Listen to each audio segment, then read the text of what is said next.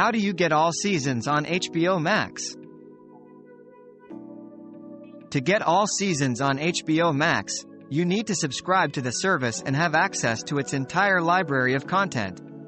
Once you have an active subscription, you can search for your desired show and browse through all available seasons. HBO Max offers a variety of shows, including current and past series, documentaries, movies, and more. You can watch your favorites anytime and anywhere with an internet connection,